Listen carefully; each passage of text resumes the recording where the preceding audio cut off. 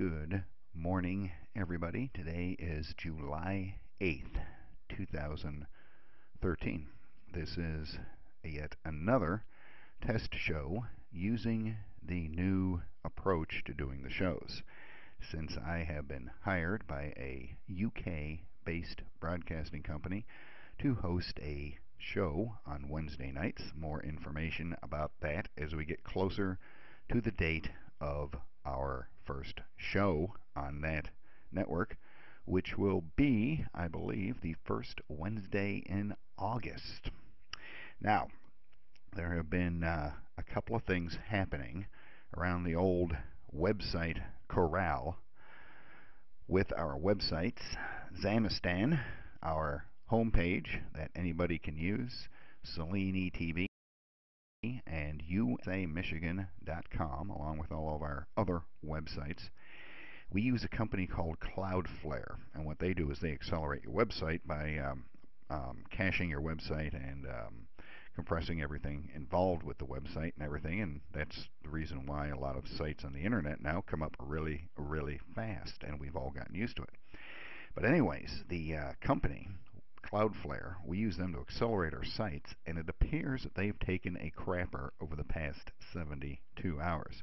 We're getting uh, this website is not available, the server is down, um, um, 500 errors, internal server errors, and everything else. This is probably due to one, another one of those famous Cliff High data holds that have been in the WebBot and ALTA reports since, uh, I believe, 2000.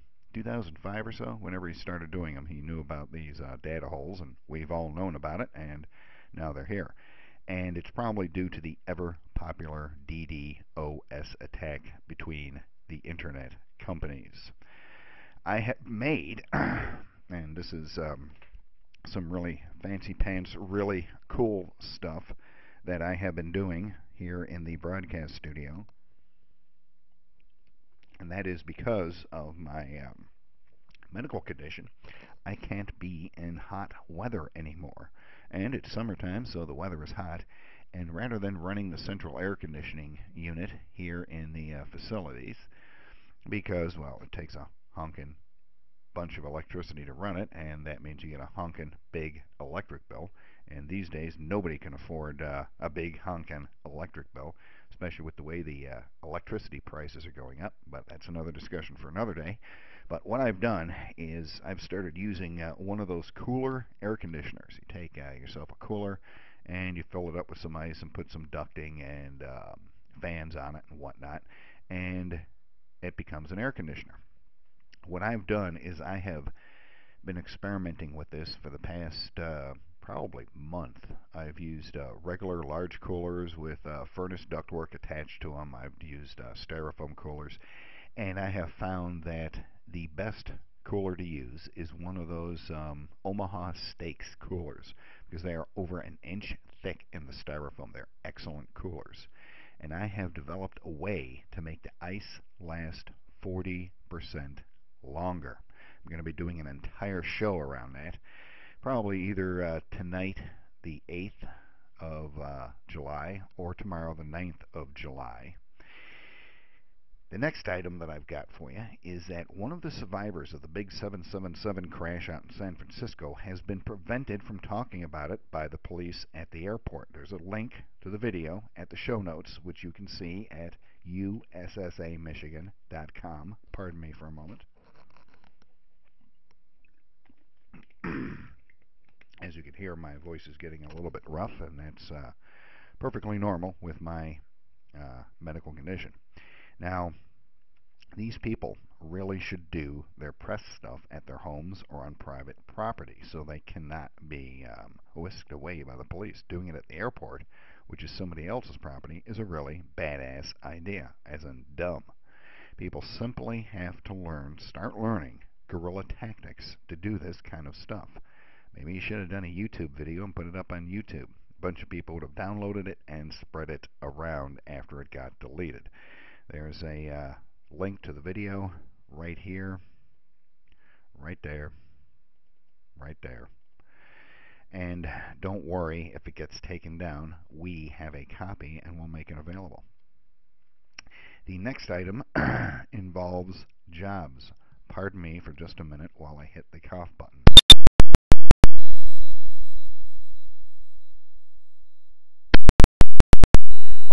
I am back. it appears to this commentator, that would be me, Bill Xam, that the central government of the former United States of America is, at this point, following the Greek model of decline. What I've done is I've looked at all of the different uh, models of decline that are being used around the world. You can uh, uh, attribute this to the central bankers, the evil Federal Reserve, uh, the Bernanke, um, the New World Order, the global elites, the Bilderbergers, the Illuminati, whoever the hell you want to give the blame to. Doesn't matter to me. But it has become obvious, to me anyways, that we are in fact looking at a purposeful global decline in economies as these people uh, use the Keynesian model, which is the stupidest thing in the world, if you ask me. At any rate, after looking at all the different models of decline used around the world, from uh, Europe as a whole, to the Tunisian model, to the Greek model, the Spanish model, the Brazilian model, etc., I have come to the conclusion that the USSA is using the throw crap at the people model, which of course is followed by the we can't afford to throw crap at the people anymore model, which naturally leads to the protest model, which leads to a governmental collapse, followed by the probable pure socialism model and the removal of the Constitution here in the former United States of America. Now, the questions we have to ask ourselves at this point, and we damn well better do it before the second step of withdrawing three crap, free crap from everybody, are as follows. And remember, this could take 10 years, this could take 5 years, this could take till next week. All it takes is that first domino being pushed 1 16th of an inch to make all the other dominoes fall. It could happen in Europe, it could happen in South America, it could happen in Asia. Doesn't in Australia. It doesn't really matter where it happens. The dominoes will begin to fall when the first one falls. Even with all of these problems, that we're seeing around the world, from uh, Greece to Europe, the UK, Japan, uh, the problems in China, Brazil, and every place else, it's still not enough to precipitate the entire global collapse of the entire system. And can you imagine how bad it's going to be when this actually does collapse? Given that, look what happened in Greece. Even that wasn't enough to tip over all the dominoes economically in the world. That is uh, some very scary stuff. Here's the questions that we need to ask ourselves. Are there still enough people in the United States to re-engage the original Constitution when this collapses? Would the citizens of the former United States of America have the wherewithal to actually conduct mass protests in Washington, D.C.? At the end of the free crap model, would there be enough residual money available to allow the masses to travel to Washington? And the point about that is, is we don't have the typical European or Asian mass transit systems. We sure we've got Amtrak and Greyhound buses, but that's about it. And to take a train or a Greyhound bus from California to Washington D.C. is going to take days to do the trip unless you fly by an airplane. And once the powers that be figure out that people are flying by airplane into Washington, D.C. to conduct mass protests, you're going to be on the no-fly list, pal, faster than you can say, this is going to be really bad. Next question. If not, if there is not enough residual money available to allow the masses to travel to Washington, would state-by-state -state protests be enough to conduct a change? If the state-by-state -state protest model is used, would that lead to A. State-generated free crap, or B. State pressure on the central government to start this change? And I'm going to add another one to it, C.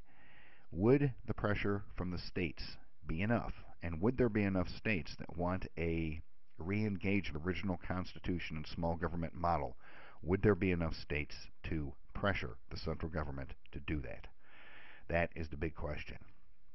The reason why I'm talking about all of this is that there's a fellow by the name of Mike Snyder who appears to write for economiccollapse.com. I believe that's actually his website, economiccollapse.com. And again, all of these links are available at ussamichigan.com. He has written a telling article about um, good jobs. And uh, he has written this on July 7th of 2013. Let's read a little bit about what Michael is saying. Trying to find a job today can be incredibly uh, an incredibly frustrating experience. I know from personal experience, my wife has been on the job hunt recently.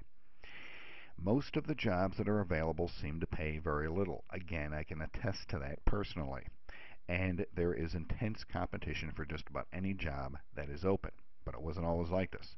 In this economic environment, a single nationwide hiring event conducted by model McDonald's, of all places, resulted in 1 million job applications, and only a small percentage of those applicants were actually hired. Our economy simply does not produce enough jobs for everyone anymore, and the percentage of good jobs continues to decline. Which means that it's getting harder to find a job that will enable you to support a family, and a lot of people end up doing jobs that they are massively overqualified for. One thing that we've seen in recent years is an explosion of temporary workers in America. And again, I can attest to this personally. In cities all across the country, workers are standing on street corners, line up in alleys, or wait in neon lit beauty salons for rickety vans to whisk them off to warehouses miles away. Very nice prose. I have not seen that personally. I do not know if that is true, but it may very well be. This is not Mexico, Guatemala, or the Honduras. This is in Chicago, New Jersey, and Boston. Those of us that live in more rural areas do not see this on a day-to-day basis. The people that are the people here in the United States, the former United States of America, are not day laborers looking for an odd job from a passing contractor. They are regular employees of temporary agencies working in the supply chain of many of America's largest companies. Many get by on minimum wage. They almost never get benefits and have little opportunity for advancement. He's also come up with 15 signs of the um, bad job market and as a result the declining economy of this country. Number one, the number of part-time workers in the United States just hit a brand new all-time high. Number two, only 47% of adults have a full-time job. Number three, the economy created 200,000 jobs in June, and the number of full-time jobs actually decreased. That's a big number, folks. There are now 2.7 million temporary workers in the U.S. One out of every 10 jobs in the U.S. is now filled by a temporary agency. The U.S. economy has actually lost manufacturing jobs for four consecutive months. The official unemployment rate has been at 7.5% or higher for 54 months in a row. How long does it take for it to be classified as a depression? I've been waiting for 2008 for one of these smart clowns in Washington, D.C. or New York or someplace else to call this a depression. Why don't we just go ahead, get off our fat asses, and call this for what it is a depression? According to one survey, 76% of all Americans are living paycheck to paycheck. One out of every four Americans has a job that pays less than $10 an hour. High paying manufacturing jobs continue to be shipped overseas. Today, the United States actually has a higher percentage of workers doing low wage work than any other industrialized nation. The U.S. economy continues to trade good paying jobs for low paying jobs. Back in 1980, less than 30% of all jobs in the United States were low income. Today, more than 40% are low income. At this point, an astounding 53% of all Americans make less than 30,000 a year. According to a study that was released by the Center for Economic and Policy Research, only 24.6% of all jobs in the United States are qualify as good jobs. there is a link at ussamichigan.com for today's show notes. That is a link to the PDF study at the CEPR website. Here are their three qualifications for a high paying job or a good job. The job must pay at least $18.50 an hour. The equivalent median hourly pay for American workers back in 1979 if you adjust for inflation. In other words, if you were making a median hourly wage in 1979, today you have to make 18.50 an hour just to stay even. The job must provide access to employer-sponsored health insurance and the employer must pay at least some portion of the cost. The job must provide access to an employer-sponsored retirement plan. All of this is absolutely heartbreaking. Let's look at the PDF. This is the PDF from the uh, um, what is it? The uh, Center for uh, Center for Economic and Policy Research, a quote-unquote nonpartisan group. What we see here in Figure 1 is the share of good jobs from 1979 to 2001. And you can see right here, this is the beginning point, right here it's 1979. Um, the light blue is female, the dark blue is everybody, and the medium blue is for men. And you can see right here the share of good jobs, 1979 to 2011. Just under 40% of men had what are called good paying jobs in 1979. Just a little bit over 10% of women had good paying jobs in 1979. And the actual combined was around 28%. Today, you can see that this has in fact declined over the years. In 2000, there was a spike in men and all people, and not so much in the females, of good jobs. You can see that it has declined. It's down to about 30% of men, but women have actually increased in good jobs. Here is the share of bad jobs. You can see that it has increased. Bad jobs meaning part-time, no health care, lower than the median wage. In other words, really crappy jobs that you take just to get by. You can see that that has increased for both men and women since 1979. This is not good news. And as I said, you can download this PDF and read it at the Center for Economic and Policy Research website. Making Jobs Good. This is by John Schmitt and Janelle Jones. It was published in April of 2013. That would be this year. They are based out of Washington, D.C. And their website is cepr.net. cepr.net. Don't hesitate. Go there today. And um, get your acknowledgments, your executive summary, and everything else. And that is about this, about that.